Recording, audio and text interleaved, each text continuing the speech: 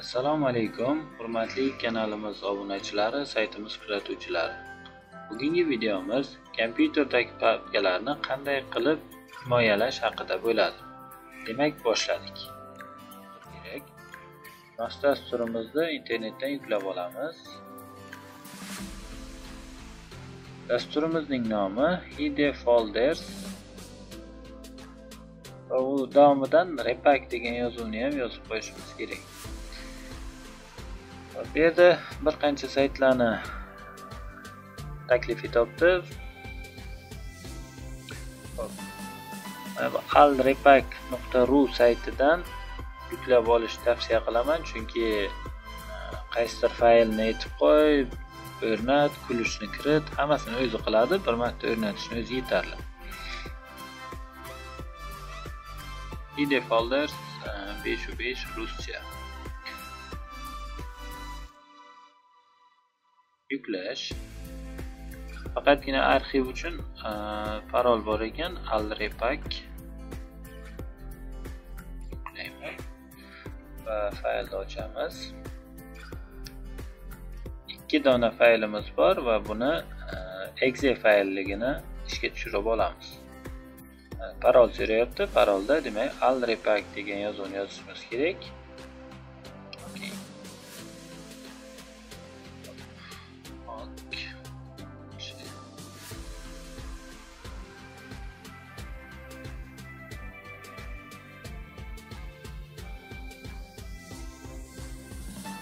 O'rnatishda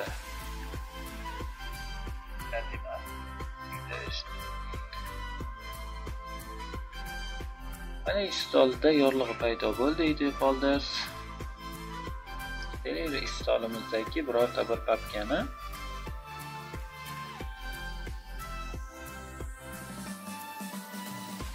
yaratgan papkamizga kirish huquqini bloklab qo'yamiz. Dasturni ishga tushirib olamiz. Bu yerda mana on off degan yozuvlar turibdi demak yoniq. Ya'ni himoya yoqilgan himoya o'chirilgan holatga o'tkazib qo'yishligimiz mumkin o'zimiz uchun. Va ro'yxat. Ro'yxatga o'tamiz.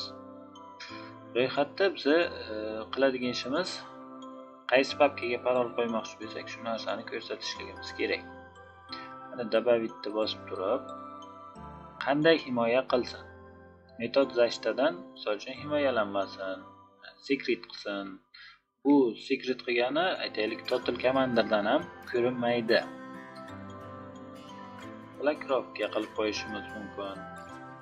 Security blackropga только xo'sh mana e, blackropga tanladim va qaysi papkani uchta nuqtani bosib turib рабочий keyin aytaylik.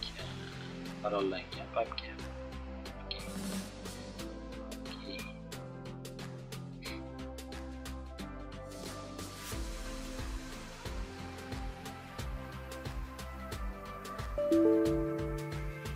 Отказано dost deyapti ya'ni bloklangan.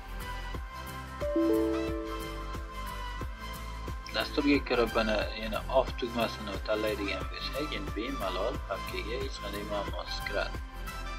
Ichida bironta bir fayl tashlab qo'ydim yana himoyani yoqib qo'yaman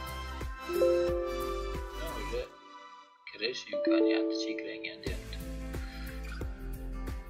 xuddi shu ko'rinishda o'zlaringizni papkalaringizni himoya qilishlaringiz mumkin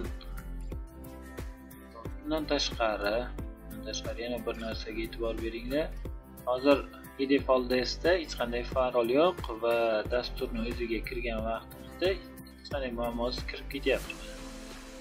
Buni parol degan narsani tanlaymiz mana parol degan joyi bor. Va parol qo'yishimiz kerak.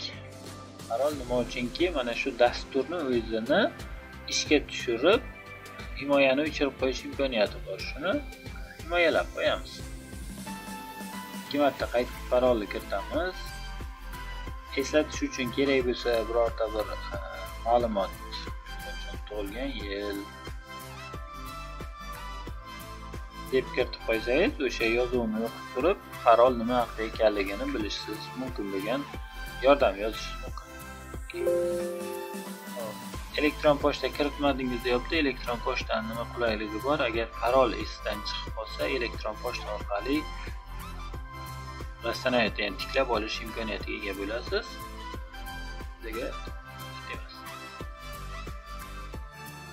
parol yoniq chiqamiz. Hozircha mana papkamizga kirib bilmadik. Endi hide foldersga kirmoqchi bo'lsak bizdan e, parol so'raydi. Qachonki parolni kiritganimizdan keyin himoyani o'chiradigan bo'lsak mana papkamizni ichidagi ma'lumotni ko'rishimiz mumkin. E'tiborlaringiz uchun rahmat xayr salomat bo'ling